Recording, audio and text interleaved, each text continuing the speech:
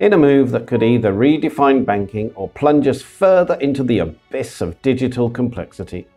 Citibank, a global financial giant, has decided to leap headfirst into the digital revolution that'll make your deposits vanish into thin air, only to reappear as digital tokens. It's almost as if they've just discovered the internet.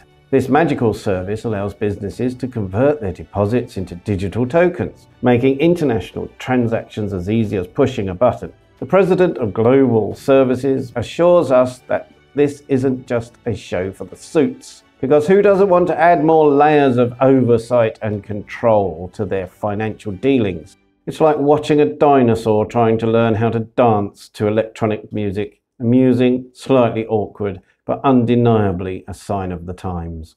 Hit that subscribe button and join the MakeMeClever.com community. Until next time, stay clever.